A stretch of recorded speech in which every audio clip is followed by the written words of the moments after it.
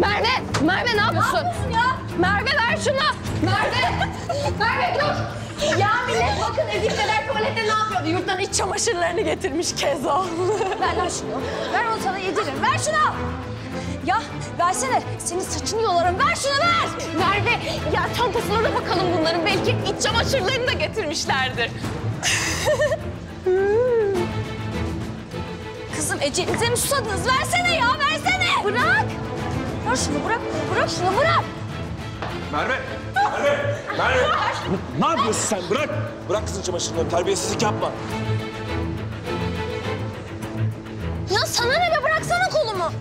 Merve bak bırak canını yakarım senin anladın mı? Ya bırak.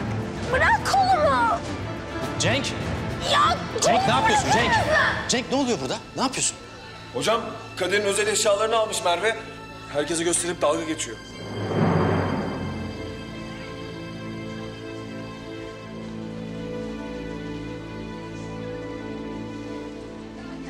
Ver onu Merve.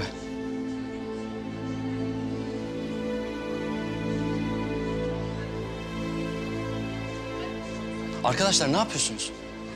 Hayır nedir bu kadar nefret? Neden bu kadar nefret ediyorsunuz birbirinizden?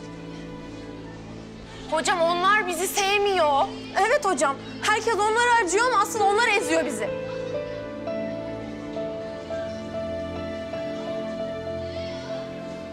İleride çok utanacaksınız bu yaptıklarınızdan. Hocam onlar da okulun tuvaletinde iç çamaşırlarını yıkamasınlar. Bak yine aynı şeyi yapıyorsun. Arkadaşını utandırıyorsun.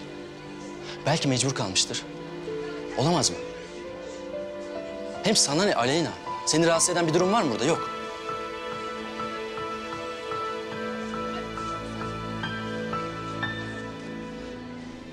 Çabuk özür dileyin arkadaşınıza.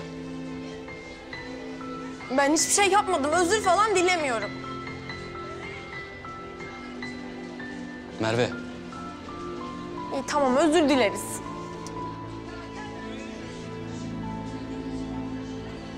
Ben de aynısından işte.